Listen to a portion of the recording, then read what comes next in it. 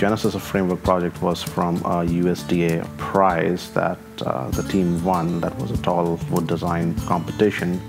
So a consortium of engineers, architects, and developers got together, applied, got the prize money, and now they're coming up with a building in the Pearl District, which would be a 12-story all-wood building.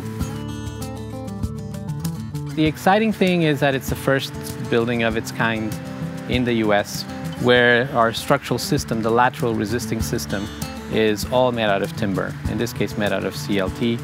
It's designed here in Oregon, it's going to be built in Oregon. It's a unique opportunity to be involved in this one-of-a-kind building.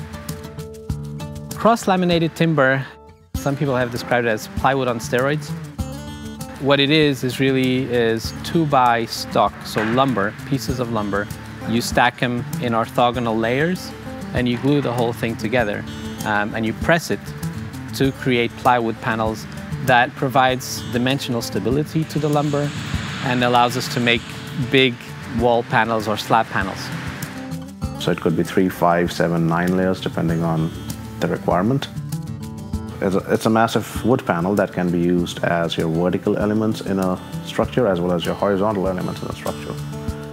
So there has to be a lot of uh, testing that needs to be done to convince code officials, the city of Portland, that this structure is safe and sound for people to live in or people to work in. Specifically, we're looking at splice connection tests.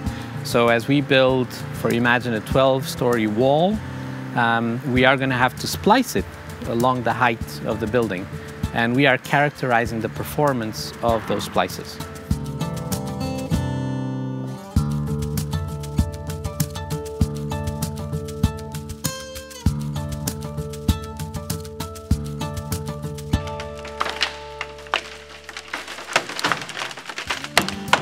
One of the big advantages is strength to weight ratio.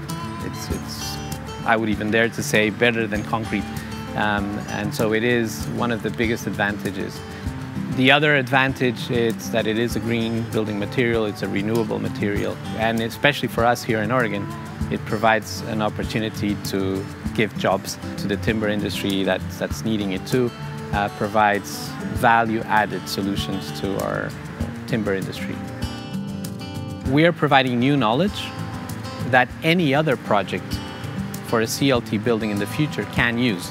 And so if a building promoter um, wants to do a building in wood, in CLT, six stories, eight stories, 12 stories, um, he can use CLT. Up until now, he could only use concrete or steel. So we're providing a new solution and enabling a new solution.